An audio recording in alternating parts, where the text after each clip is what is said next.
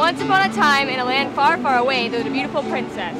One day, as she was admiring her ring, her most valued possession, she accidentally dropped it in a nearby storm drain. The princess began crying, mourning the loss of her prized piece of jewelry, when a small voice called out to her.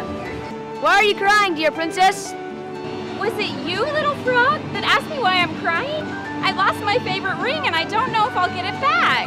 No need to worry, my dear. I can have it back to you in no time. But what's in it for me?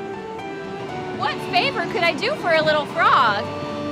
How about a kiss and we'll call it even? Okay, okay, I'll do anything to get my ring back. Here is your ring. Wow, that was fast.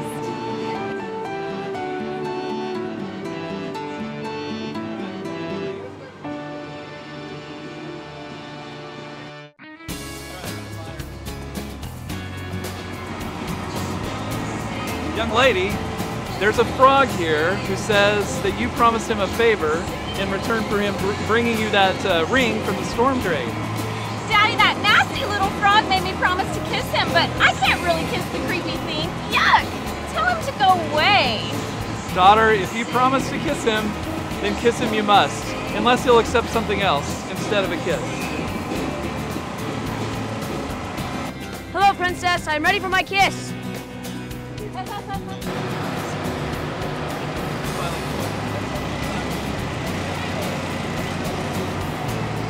I'm sorry, but I can't go around kissing frogs.